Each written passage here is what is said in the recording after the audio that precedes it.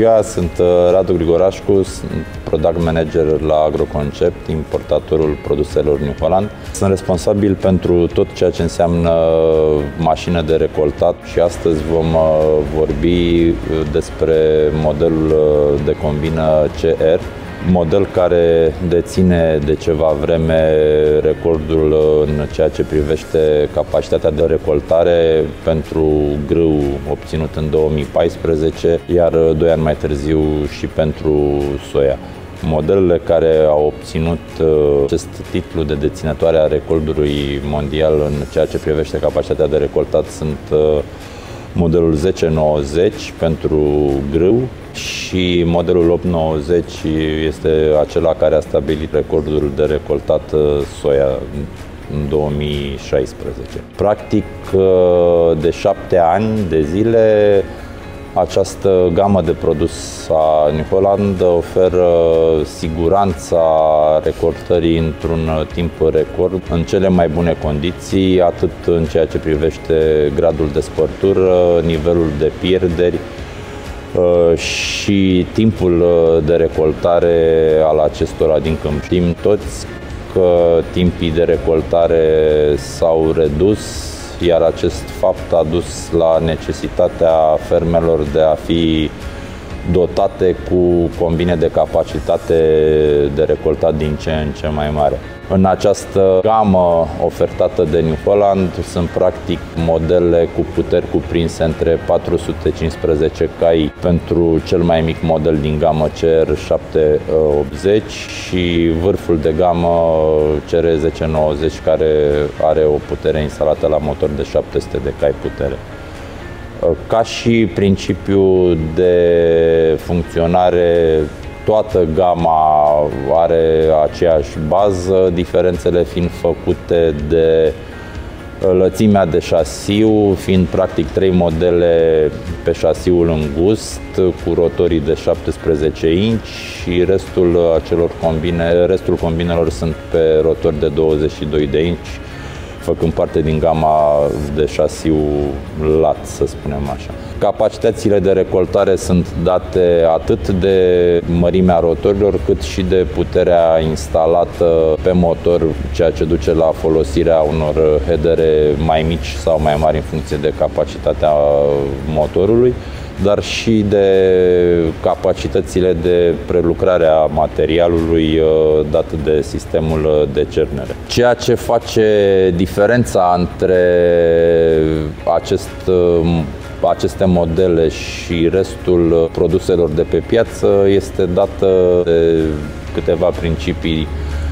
uh, din fizică și anume distribuția materialului pe sistemul de cernere uniform dat de cei doi rotori, de aceea pe toate combinele din această gamă vedeți scris Twin Rotor, practic e o combină axială cu batere și separare pe doi rotori, nu un singur rotor, și sistemul de cernere optic clean cu casa, de, casa sitelor uh, cu sistem de copiere al pantei până la 17%. Ce înseamnă practic acest sistem optic clean? Voi explica în câteva cuvinte. Practic materialul care vine pe sistemul de cernere este oprit prin mișcarea în contratimp a planului înclinat față de sistemul de cernere, astfel tot ceea ce este trimis spre a fi cernut pe presită și sita superioară uh, are o rupere de ritm. Ce este aruncat este cumva reținut un dat înspre începutul sistemului de cernere pentru a fi eliminate pierderile. O altă caracteristică care aduce plus valoare și oferă confort și mărirea capacității de lucru este faptul că de 3 ani de zile, cel puțin pentru piața de România, combinele cu șasiul lat de la modelele CR890 în sus sunt echipate cu sistemul de reglare automată al parametrilor funcționale ai combinelor, denumit IntelliSense. Acesta reglează toți parametrii funcționali, începând de la viteza de înaintare, turație rotor, deschidere sau închiderea sitelor uh, combinei, durata timpului petrecut de materialul recoltat în interiorul rotorilor și așa mai departe în funcție de ceea ce operatorul uh, are ca și țintă. Acest sistem are ca și posibilitate de a alege patru moduri de lucru și anume alegerea pierderilor limitate, alegerea unei capacități maxime de lucru, alegerea unui produs cât mai curat în bunker sau dacă este cazul și este limitat de capacitatea de transport, acesta poate alege un mod de lucru fix care să genereze o capacitate de lucru fixă corelată cu capacitatea de transport a acestuia. Acesta oferă posibilitatea operatorului de a fi atent doar la ceea ce este în fața combinei, în ceea ce privește setările acestea, are grijă inteligența pusă pe combină, alegerile de a seta sau a nu seta ceva în uh, cursul uh, procesului de recoltare fiind luat la fiecare 20 de, de secunde. Uh, vorbeam mai devreme de gamă. Uh, practic ele sunt uh, trei modele de combine pe șasiul îngust cu rotorii de 17 inch și trei modele pe șasiul lat cu rotorii de 22 de inch. Ca și denumire sunt trei pe această gamă, pe gama mare, dar practic ele sunt cinci modele, practic, practic sunt două modele CR890 și CR990 în două modalități de echipare ca și mărimea bunkerului. Uh, aceasta putând fi aleasă fie 12.500 de litri sau 14.500 de litri, forma capacelor de închidere a bunkerului fiind ca aceasta din uh, patele meu. Ele sunt echipate în funcție de solicitările clienților, fie ca variantă pe anvelopă sau variantă pe șenilă. Acum fiecare fermier știe condițiile de lucru, știe ceea ce vrea să aibă în câmp, acest lucru fiind posibil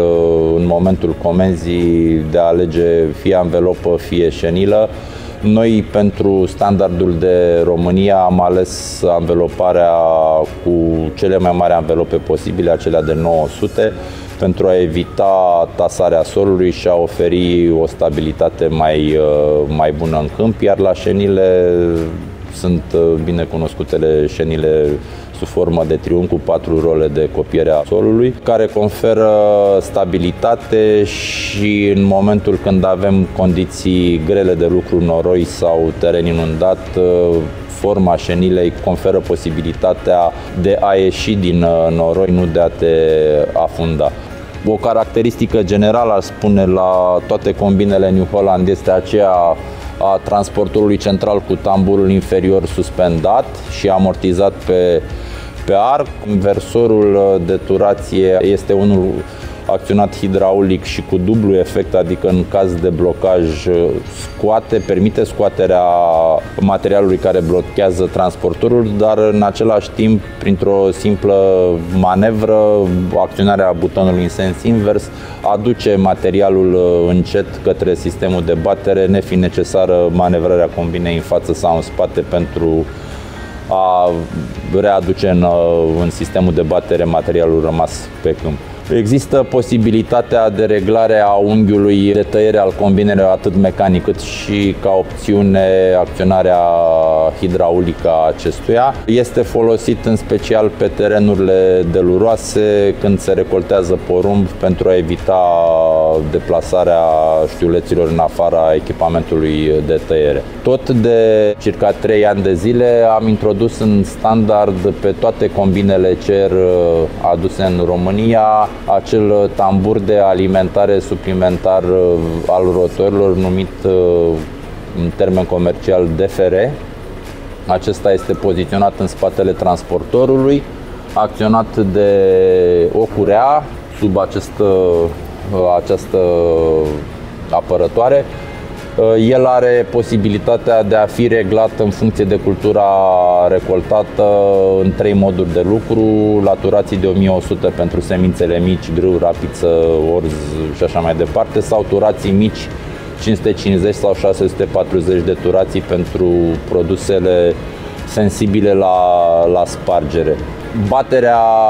se face în interior,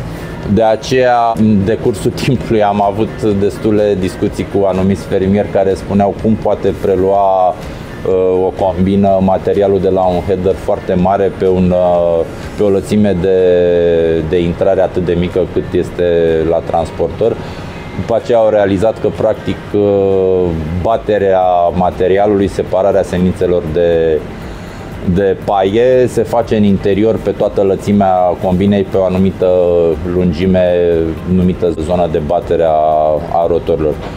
Baterea, și în acest caz, ca la toate combinele axiale, este una gentilă, este dată de frecare material pe material, de aceea cantitatea de spărtură în uh, buncăr a produsului recoltat este, este aproape nulă, făcând posibil ca pierderile generate de, de spărtura de material să fie minime, astfel încât uh, fermierii să aibă cât mai mulți până la urmă bani în, uh, în buncăr. O altă caracteristică a acestor combine este partea de retur, care este prezentă pe ambele părți a combinei, atât pe partea dreaptă cât și pe partea stângă. Este o caracteristică care oferă capacitate de lucru. Practic aceste combine nu se blochează, nu sunt limitate de cantitatea de material care este retrimis în uh, sistemul de batere. În cazul nostru acesta este trimis pe planul înclinat rebaterea, resepararea semințelor față de spice sau ceva, făcându-se cu ajutorul unor capaci aflate în partea de jos, în standard, toată gama de combine CR este echipată cu împrăștietoare de pleavă. Acest lucru este este hotărât de către noi pentru a asigura împrăștierea pe o lățime mai mare a materialului care cade din sistemul de cernere pentru a elimina pe cât posibil uh, fitotoxicitatea generată de materialul rezidual uh, din urma combinelor. Tocătoarele asigură împrăștierea fie chiar dacă nu sunt echipate cu sistemul OptiSpread acele distribuitoare rotative, asigură de, uh, împrăștierea materialului tocat pe lățimii până la 12 metri. Dacă se hotărăsc fermierii să folosească headere mai mari de 12 metri, atunci recomandăm și noi uh, acel sistem de împrăștiare al paielor tocate care face față până la lățimi mai mari de 15 metri. Acesta este al doilea retur pe partea stângă.